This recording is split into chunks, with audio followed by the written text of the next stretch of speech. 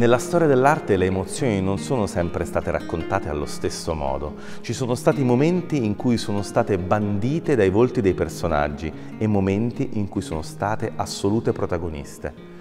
Quando nel Seicento arriva Bernini, tutto cambia.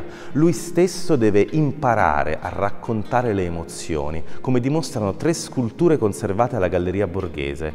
Enea e Enchise che fuggono da Troia non raccontano l'emozione che stanno vivendo in quel terribile momento. È una scultura che Bernini concepisce per essere vista soltanto di fronte.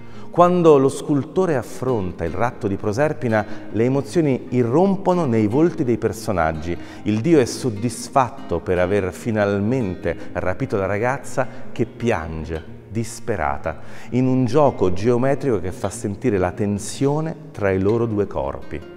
Ma è solo quando affronta Apollo e Daphne che Bernini riesce a raccontare delle emozioni ambigue, quella di Apollo che non sa se ha finalmente raggiunto la sua preda o se rimarrà con un pugno di mosche in mano, quella eh, di Daphne che invece è disperata ma forse anche speranzosa perché qualcosa accadrà. E ciò che accade riusciamo a leggerlo girando intorno alla scultura, perché quando arriviamo alle sue spalle, di fronte ad Apollo, Daphne è sparita e sono rimaste soltanto delle foglie di alloro.